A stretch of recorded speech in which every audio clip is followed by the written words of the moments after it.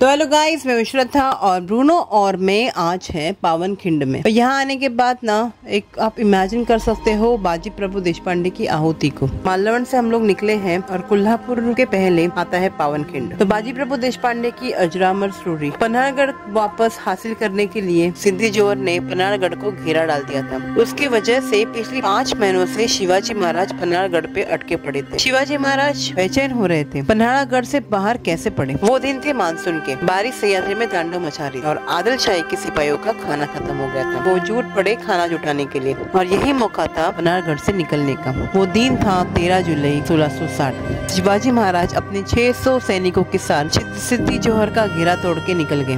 पनारगढ़ से विशालगढ़ का अंतर लगभग है 65 किलोमीटर। 600 सैनिक अपने राजा को लेकर विशालगढ़ की तरफ़ दौड़ रहे थे। बिना रुके। न उनके पेट में खाना था, न पानी। खून से लथपथ, नंगे पैर कीचड़ और कांटों में बेखौफ होकर भाग रहे ना तो उन्हें डर का एहसास था, न ही भूखा उनको सिर्फ़ अपने राजा को विशालगढ़ पहुँचाना पीछे से आदिल शाह की फौज नज़दीक आ रही थी। तो बाजी प्रभु देश ने शिवाजी महाराज को 300 सैनिक लेकर विशालगढ़ जाने के लिए कहा। बाजी, आपको छोड़ के हम कैसे जाए? सब यही रुके सामना करते हैं। बाजी प्रभु ने कहा, महाराज, लाख मेले तरी चालतील पण लाखांचा पोशिंदा जगला पाहिजे शिवाजी महाराज ने बाजी प्रभु को गले लगाया और वो विशालगढ़ चले गए। तीन तोहफों की सलामी जब विशालगढ़ से आई, तब समझना कि महाराज सही सलामत पहुँच गए। सामना था 300 मराठों का, दस हज़ार आदिल शाह के सिपाहियों से। सिद्धि मसूद जो आदिल शाह का सरदार पावन खिंड में पहुँच गया और जब उसने नज़ारा देखा तो वो थर थर कांपने लगा। आग उगती मराठों की तलवार उन पर टूट पड़ी।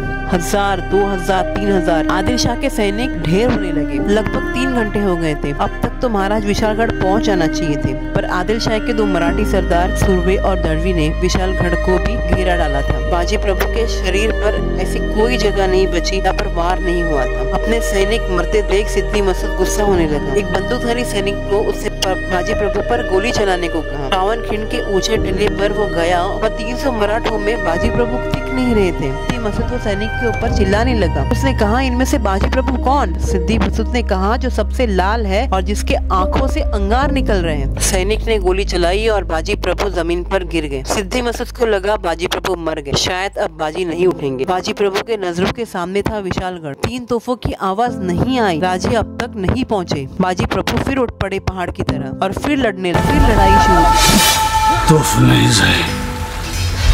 नहीं लड़ना। पूरे नहीं समझना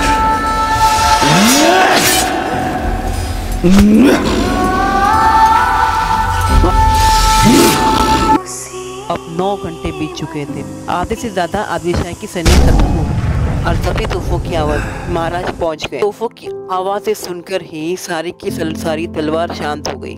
300 मराठों ने अपने राजा के लिए कुर्बानी दी। गढ़ आला पणफिंग वगैरह यही पावन इंडिया बाजी प्रभु की शहादत हमें याद दिलाती है।